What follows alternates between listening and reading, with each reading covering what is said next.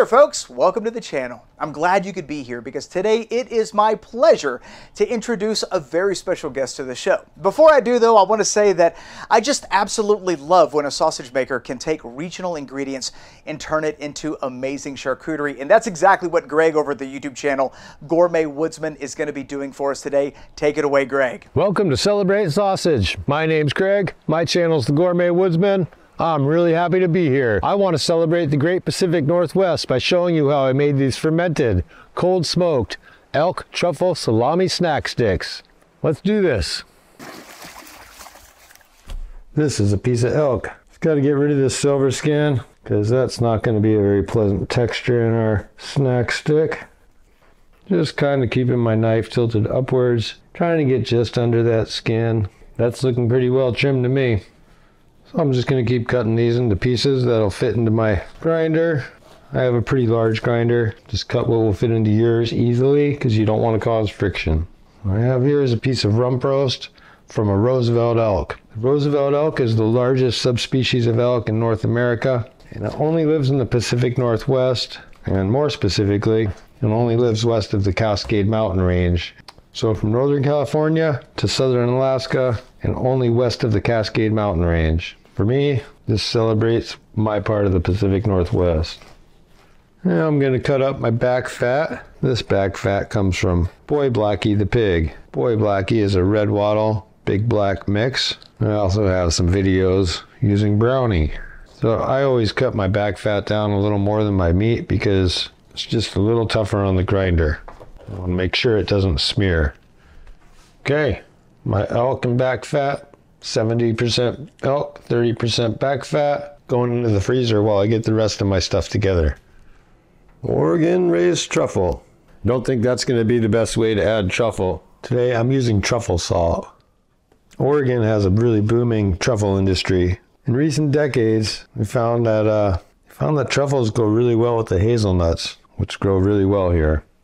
And if you don't have truffle salt, just use 2.5% kosher salt. You'll be golden. Since it is a cured sausage, I'm going to use some cure number one because it's going to cure very fast, less than a month for sure. So I'm going in with my cure number one. I'm going to add some dextrose to feed that starter culture that we're about to make up. I'm going to use some white pepper. Use black pepper if you want it a little less, a little less heat.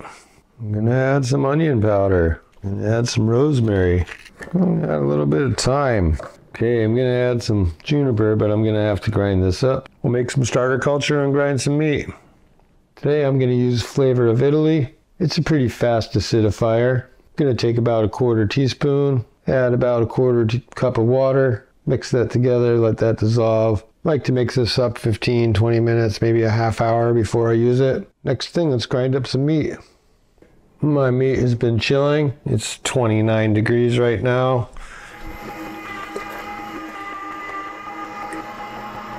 Now I want to send this elk through this twice. So I'm going to run the fat through first.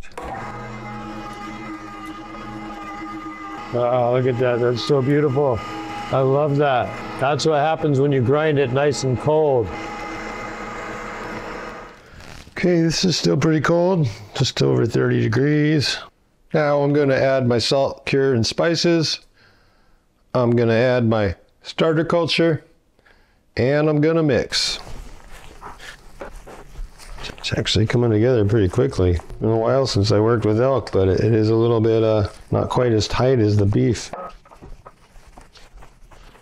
Oh yeah, and this fat is going to be totally very defined in this. This is going to be delicious. I'm pretty excited about this, I got to say. All right, we're looking pretty good. It's lifting that whole bowl up, sticking to my hand really well. get a look here. You can see how it gets strands that reach out, gets a little, I always say it looks a little furry. That's how I think of it. Um, I'm calling that good. I think that's going to be awesome. I'm going to be using 22, 24 sheep casings. I'm going to keep this wet because I want these to keep sliding back and forth very easily. So what I try to do is find the opening, try to let a little water in there. And that helps lubricate the horn as it goes on. And I usually just start on one side, wrap it around, and uh, There it is. They're nice and pliable. I got them going last night and it's now the next afternoon, so they've had plenty of time. And we are just about ready to go.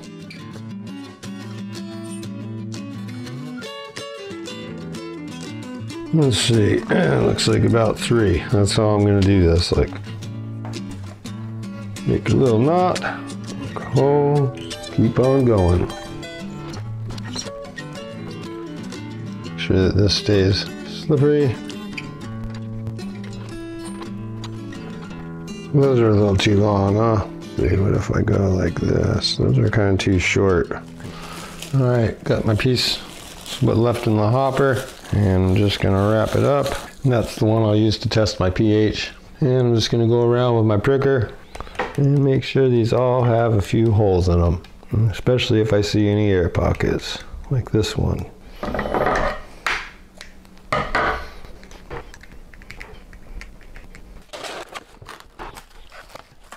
So this should keep the uh, humidity a good 90% or even probably closer to 100.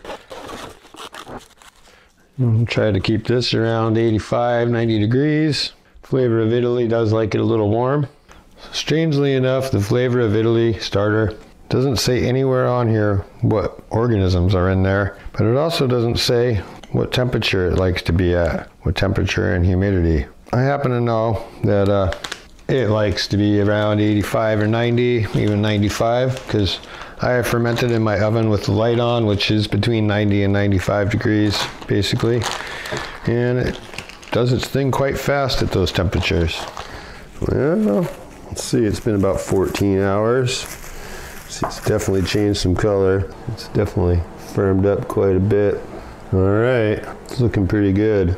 You see that? I'm right at about five, just over five. I think that's where I want to go to. I think I'm going to start smoking these.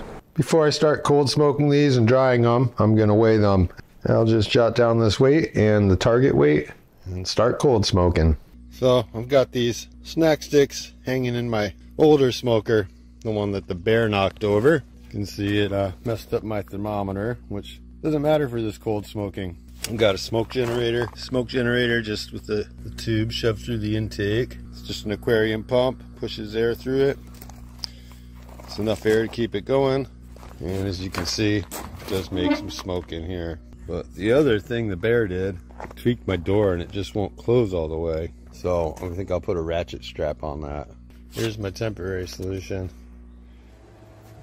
All right, this is my drying chamber. Let's see what they look like. It's been 22 days since I put these in here and it's 55 degrees and about 80% humidity in here.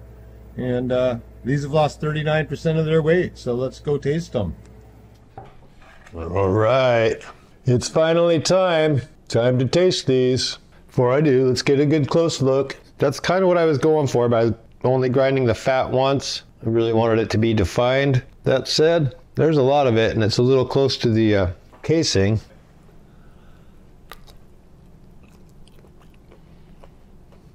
Mm. Thing is, when you get these big pieces of fat, they're just so creamy. It's like melting over your tongue with truffle. Most truffle recipes are in cream or cheese or butter, something really fatty without a lot of other flavors. like melts with truffle. And then you kind of get hit with the, the tanginess from the ferment, a little bit of the smoke from the cold smoke. And you know, with such a narrow diameter, I think you could probably dry this anywhere that stays 50 to 60 degrees and 70 to 80 ish in humidity. Even maybe a little drier would be okay because it's so narrow doesn't really have time to uh, develop a dry ring, cause a problem. That said, I don't know for sure because I have that cabinet and that's what I use. Man, sun's coming out, hitting a weird angle on my face. That's really a winner. Definitely would make that again. Just make sure your truffle salt is nothing but salt and truffle. And uh, if you don't like truffle, this is actually a good recipe without it. I've made it before with just kosher salt. That said, the truffle salt really elevates this a lot. But, uh, but it's a really good snack stick without it. Check out my channel at Gourmet Woodsman. I've got a couple other versions of these snack sticks, as well as many other projects. Put some love into your food. Peace. I love it. Sign me up. Those snack sticks look amazing. I've already got the truffles. Now I just got to figure out how to get my hands on some of that elk, and we are in business. Thank you, Gourmet Woodsman, for an excellent video recipe. And folks, I'm going to put a link to Greg's YouTube channel, The Gourmet Woodsman, in the description box below. And let me tell you a little something about Greg's channel. He has a fairly young, fairly new channel, but he is popping out some expert level content and he is just getting started. I can't wait to see the kind of content he produces in the near future.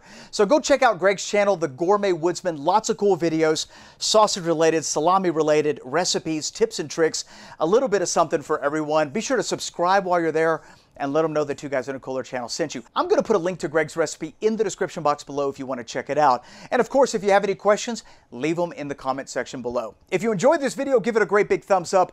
And if you are new to this channel, be sure to hit that subscribe button and that notification bell, especially if you like sausage or sausage related content. Be sure to stick around because in tomorrow's episode, we're making a Northern Italian sausage whose original recipe had an ingredient that most people would have a problem with. You're not going to want to miss it.